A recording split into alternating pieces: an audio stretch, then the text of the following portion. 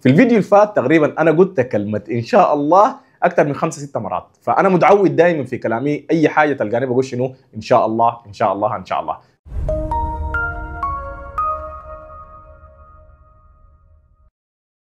السلام عليكم ورحمة الله. معكم دكتور كوين من Queen International Group. زي ما متعودين ندعو لأهلنا في السودان. ربنا يصلح حال السودان ويرجع السودان أفضل من الأول وربنا يعوض أي زول إذا خسر خسارة كبيرة والخسارة كانت صغيرة. وما تنسوا أهلنا في غزة. ربنا إن شاء الله ينصرهم على الظالمين. في واحد رسل لي رسالة وسأل سؤال فقال لي عليك الله يا بس جاوب لي في فيديو.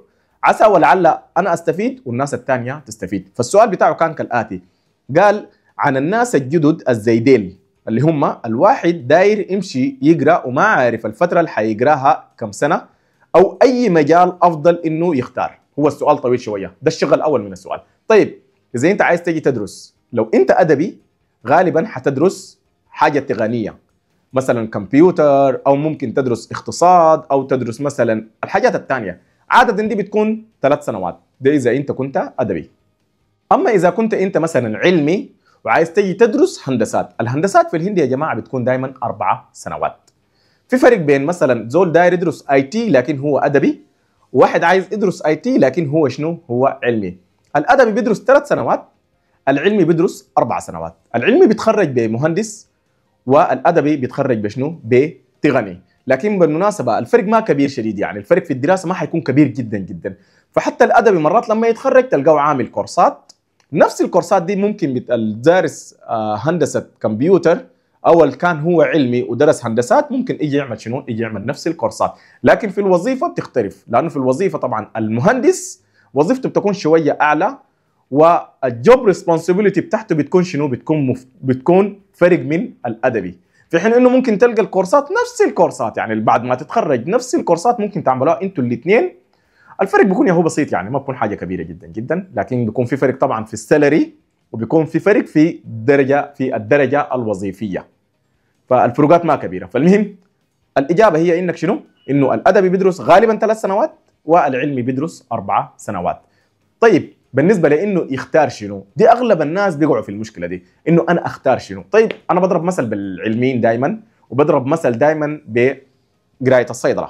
فزي ما قلنا في الفيديو فات تقريبا اتطرقت للحاجة دي أنت كيف تختار المجال اللي بيهمك أو المجال اللي بينفع معاك كيف أقدر أختار المجال اللي بينفع معاي الموضوع ما موضوع والله يا أخي أنا مثلا عايز أدرس صيدلة أو لا والله أنا عايز أدرس IT يعني الأيام دي أغلب الناس اللي عايزين يجي يدرسوا IT بيقول لك والله عايزين ندرس information technology أو يقول لك عايزين الذكاء الذكاء الاصطناعي اللي هو ال artificial design وفي واحدين بيجي بيقول لك عايزين ندرس الأمن السبراني يلا عشان تدرس مثلا الأمن السبراني لازم تدخل في النت وتفتش أنت في الأمن السبراني حيدرسوك شنو. طيب بعد ما أنا أتخرج من الامن من الأمن السبراني بقدر أعمل شنو في المستقبل؟ فلازم تحدد الحاجات دي لازم تفتش عنها. ما في زول حيقدر يقول لك يا أخي أنت أقرأ كده ومفروض تقرأ كده لا. أنت بتعرف الحاجة اللي بتنفع معاك شنو. لكن عشان تعرف الحاجة اللي بتنفع معاك شنو لازم تفتش لازم تبحث عنها. يعني أضرب مثل بالصيدلة. أنا عايز أجي أدرس صيدلة في الهند. المفروض أعرف إنه أنا في الصيدلة حيدرسوني شنو؟ والصيدلة هي كم سنة؟ ثاني المفروض تعرف حاجة. أنا بعد ما أخلص بكالوريوس الصيدلة حأشتغل شنو؟ يعني حاجي أشتغل مثلا في صيدلية أو حاشتغل مثلا في مصنع أو حاشتغل مثلا مدرس أكون محاضر في جامعة. طيب الموضوع ده ما حتقدر تعمله ببكالوريوس الصيدلة. لازم تعرف بعد بكالوريوس الصيدلة أنا المفروض أعمل ماجستير.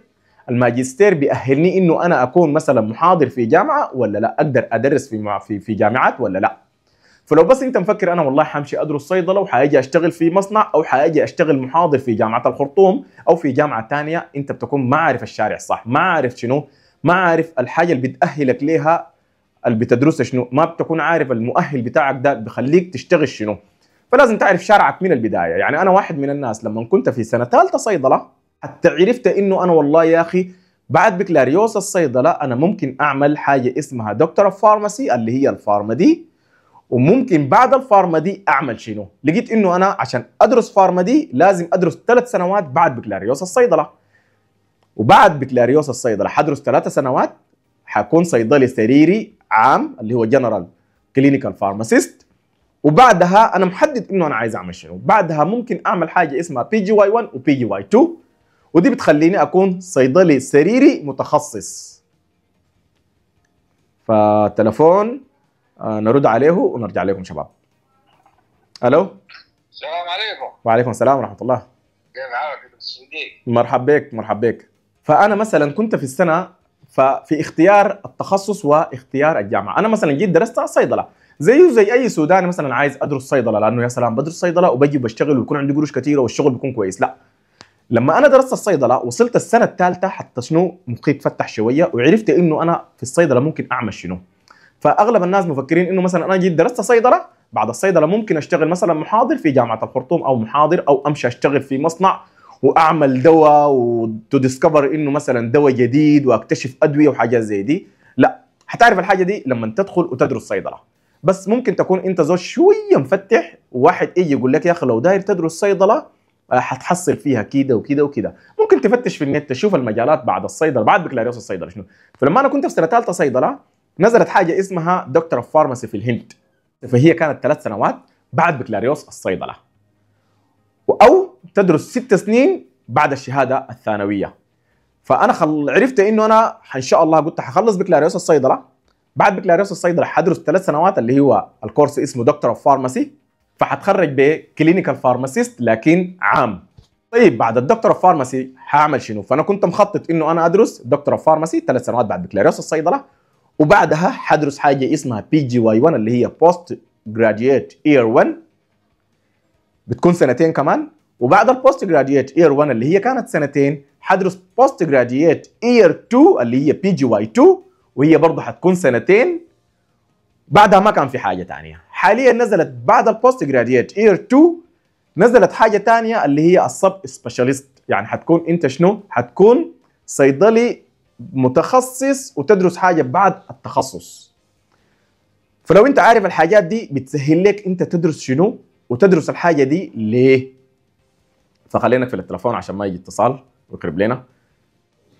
فبكده انت بتكون عارف انه انت من البداية أنا حادرس مثلا صيدلة وحادرس مثلا Pharm D وحادرس PGY 1 و PGY 2 وبعد ذاك أشوف موضوع شنو؟ موضوع ال subspecialty يلا حاول اعمل حاجة. انت طوالي مثلا عايز تجي الهند فكر مثلا عايز أدرس صيدلة حاول خش النت وأبحث عن الصيدلة.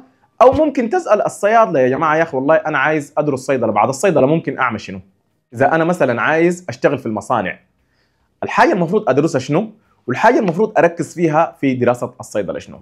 فشوف المجال اللي أنت عندك فيه انترست وبتحبه شوف الناس اللي في المجال ده وأسألهم وخش الإنترنت وفتش عن الحاجة. لأنه مرات بتلقى إنه الحاجة ما بتنفع معك. والله يا أخي مثلا أنا لقيت الصيدلة لا ما بتنفع معي. والله يا أخي ما نافعه معي. فححاول مثلا أشوف المختبرات الطبية. بعد المختبرات الطبية أقدر أعمل ماجستير ولا لا؟ بعد أعمل الماجستير حأشتغل شنو؟ الدرجة الوظيفية حتكون شنو؟ غالبا السالري حيكون شنو؟ الدول الكويسة في المجال ده شنو؟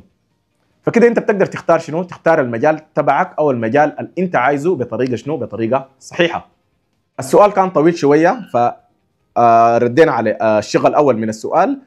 قال أو حتى أي ولاية يمشي الطالب ويدرس فيها ويختار الولاية كيف؟ يعني الولاية اللي فيها سودانيين ولا ما فيها سودانيين؟ ده السؤال بتاعه. طيب يا جماعة أنا دائما قاعد أقول حاول تشوف الولايات اللي ما فيها عرب كمية بقدر الإمكان. أنا بتكلم طبعا الكلام ده كله عن الهند. فحاول شوف الولاية اللي ما بيكون فيها سودانيين كتار. يعني أنا واحد من الناس حاليا بقول لك يا أخي ما تمشي تدرس في حيدرآباد. ليه؟ لأنه حيدرآباد بقت فيها كمية من السودانيين وكمية من العرب. للأسف يا جماعة أكون معاكم صريحين. كل ما كانوا السودانيين في منطقة كل ما كانت مشاكلهم كثيرة. كل ما كانوا العرب في منطقة كل ما كان مشاكلهم كثيرة. دي الحاجة اللي عرفناها. يعني أنا درست في الهند من 2007 أنا بديت الدراسة في الهند.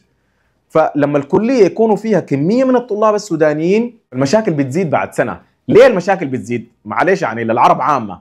أغلب العرب بيكونوا كسلانين. أول حاجة بتلقاهم ما بيمشوا الكلية وما بيت ما, ما بيمشوا مع ال rule بتاعت البلد. يعني قوانين البلد أو قوانين المنطقة أو قوانين الكلية بيحاولوا يكسروها. فبتلقى مثلا المدينة مثلا ما كان فيها سودانيين ما كانوا فيها عرب. لما تجوا أنتوا اول ناس بيحترموكم الهنود. الكلية بتحترمك. بتلقى مثلا السودانيين أو العرب عامة ما بيدفعوا الرسوم في زمنها. يعني واحد بيرسلوا له مثلا ال fees اللي هي قروش الكلية تلقى مش اشترى bike. أولياء الأمور اسمعوا الكلام ده كويس. فبتلقى الواحد رسلوا له الفيس بتاعه اللي هو المفروض يدفع الرسوم ما بيدفع الرسوم.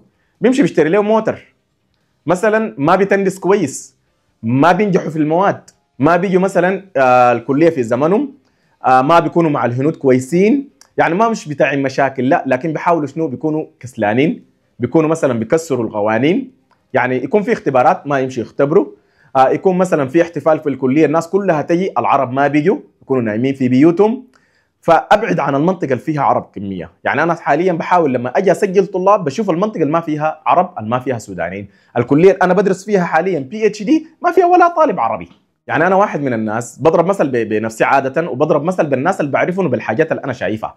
فمثلا أنا بدرس في PhD بدرس PhD في جامعة ما فيها ولا طالب عربي. أنا الطالب العربي الوحيد والطالب السوداني طبعا الوحيد. فيها أفارقة، الأفارقة أفضل من العرب في حاجات كثيرة، يعني بتلقى الأفريقي مثلا يا شباب بيعمل حاجات كثيرة، يعني بتلقى الأفريقي بيسكر ومعلش يعني بصراحة ساكنة معاه بيت في البيت عنده girlfriend وبيعمل أي حاجة كعبه لكن ما بيغيب من الكلية.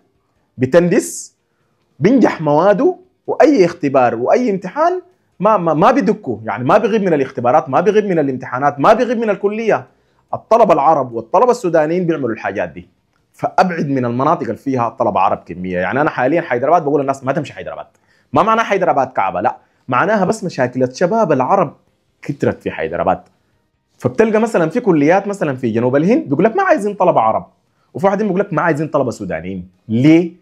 عشان المشاكل السودانيين. يعني الواحد بيجي مثلا ما بيتندس وما بيدفع رسومه في زمنه ومشاكله كثيرة وكده. فليه أنا أقوم أجيب لي طالب عربي؟ أحسن أجيب طالب أفريقي. الطالب الأفريقي مثلا بيدرس صيدلة أربع سنين بيكمل في أربع سنين. آه بينجح في مواده. حاجاته كلها كويسة. فما بقول إنه لا لازم بس ما تمشي عشان عشان السودانيين لا. بس عشان المشاكل اللي بتواجه العرب عامة والسودانيين خاصة أبعدوا من بعض. يعني أنا حاليا مثلا لما أجي أسجل طلاب بحاول أسجل الطلاب العرب في كلية يعني السنة الواحدة ما بسجل مثلا في الصيدلة أكثر من خمسة طلاب. أو ممكن الكلية كلها ما اسجل أكثر من خمسة طلاب. لو كانت الكلية كبيرة شديد مثلا زي الجامعة اللي أنا بدرس فيها جامعة كبيرة ممكن أسجل فيها مثلا 10 طلاب عرب أو سودانيين. ما في مشكلة. ليه؟ لأنه ما بتلاقوا كثير والتخصصات لازم تكون مختلفة. فدي كانت إجابة للشق الثاني من السؤال تبعك. ولسه سؤاله بيقول شنو؟ موضوع اللغة كزول لغته ضعيفة. طيب موضوع اللغة. يا شباب موضوع اللغة بيكون كالآتي. انت جيت قبل الكلية بفترة طويلة انزل كورسات يعني أغلب الشباب العرب أو أغلب السودانيين لما وصلوا الهند ما كانوا بيعرفوا لغة، أنا واحد من الناس كان لغتي شوية كويسة يعني لأنه درست في السودان مختبرات طبية ودرست في جامعة اسمها جامعة جوبا فجامعة جوبا كانت الدراسة باللغة الإنجليزية ففادتني هنا. في طلبة حاليا بيجوا بيكونوا دارسين مثلا international school فالناس الدارسه international school ما عندهم مشكلة طبعا، ليه؟ لأنه أصلا بإنجليزيهم ممكن يكون المخاطبة ما قوية لكن ال handwriting بتكون كويسة والقرايه بالإنجليزي بتكون كويسة. طيب لو انت جيت من بدري ممكن تنزل كورسات. إذا ما جيت من بدري جيت مثلا الكليه باقي لها أسبوع. بس تجتهد لأنه يا جماعة المخاطبة والقراية مختلفة. يعني مثلا في ال class بتلقى الهنود ما بيتكلموا إنجليزي. فالمخاطبة والقراية مختلفة. يعني مثلا أضرب لك مثل بحاجة خفيفة مثلا. بتلقى مثلا الهنود آه، أداه أخذ ال sheet بتاعه وال sheet مثلا زي ده كده مكتوب كله بالإنجليزي. بتلقاه حافظ بيقدر يحفظ الكلام ده كله وبيقدر يفهمه. لكن لما تيجي معاه تيجي تتكلم معاه بالإنجليزي ما بيعرف. ما بيعرف يتكلم إنجليزي. تلقاه بيتكلم اللغة المحلية. في حين إنه الشرح ممكن يكون بالإنجليزي وجزء بشنو؟ وجزء باللغة المحلية دي أنت بتقولها برضه فأنت محتاج بس تقرأ كثير قريت كثير ما يكون عندك مشكلة في اللغة الإنجليزية. أنا ما بتكلم عن المخاطبة بتكلم عن القراية. جيت قبليها بفترة ممكن تمشي شنو؟ تمشي أي محد وتنزل محد.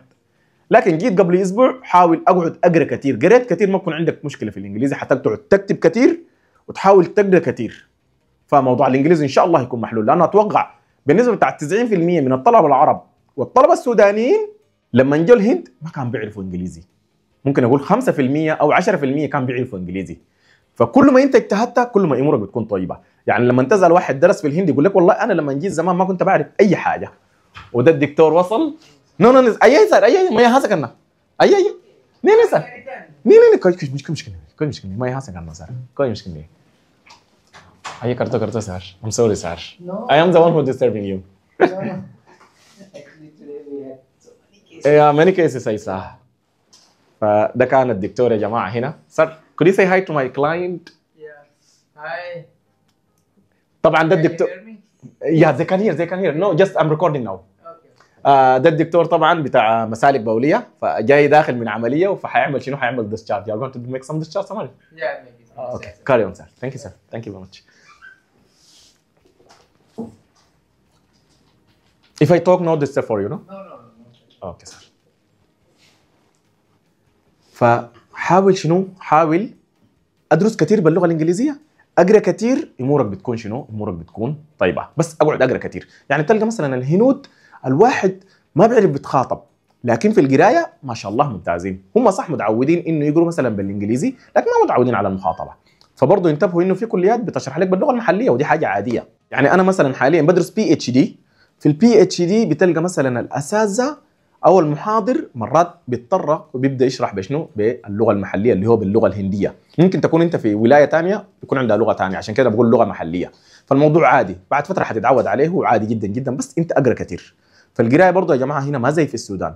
في السودان بتذكر أنا لما كنت بدرس مختبرات طبية كنا بنكون مثلا زي مجموعة بنكون زي خمسة شباب بنشرح لبعض هنا ما في هندي بيشرح لك ما في زول بيشرح لك إلا تسأل. ولو سالته بيجاوب لك على السؤال ما سألته ما في زول بيسألك. ما في زول بيجي بيقول لك يا أخي أنت ما قريت ليه؟ تعال أنا أشرح لك لو مشيت وسألتهم بيشرحوا لك يعني مثلا المحاضرة انتهت ما فهمت حاجة شوف الزول الشاطر منه وأديه أسئلة لكن ما حيشرح لك الحاجة كلها. إلا تساله السؤال مباشر تقول له يا أخي مثلا أنا ما عارف الفقرة دي عليك. الله اشرحها لي أو تمشي حتى للاستاف بتاعك تمشي لهم في وقت. الراحه تكلمهم بيشرحوا لك. فعشان كده في الفيديو اللي فات لو ما شفته أرجع شوف الفيديو اللي فات عشان تحل الموضوع ده شنو. فده كان رد للشق الآخر من السؤال بتاعك. فالسؤال هو طويل شوية يا شباب.